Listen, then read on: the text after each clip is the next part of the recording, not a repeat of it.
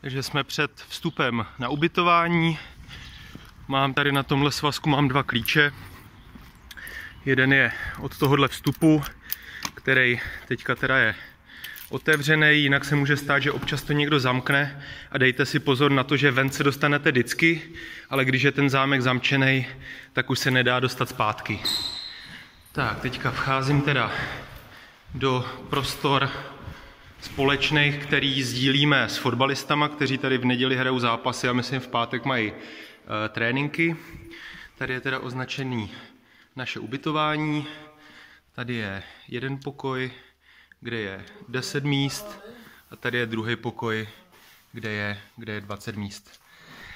Uh, tak, tady, tady děláme teda uh, večerní rozbory a tady je ovládání světel, kdy levý tři jsou od levé místnosti, pravý tři jsou od pravé místnosti, kde teďka jsme. Uh, Tady teda necháváme klíček od sušárny, který tady teďka není. Tak, tady máme Áďu. Jinak, tady jsou nejbližší záchody, ale ty jsou pro fotbalisty. Takže prosím, využívejte až tady pořád rovně rovně. Tak a Teď se dostáváme do téhle místnosti, kde nalevo je sušárna, takže tady sušíme věci. Další možnost je teda výjít na stadion, který je taky plně k dispozici a sušit věci venku.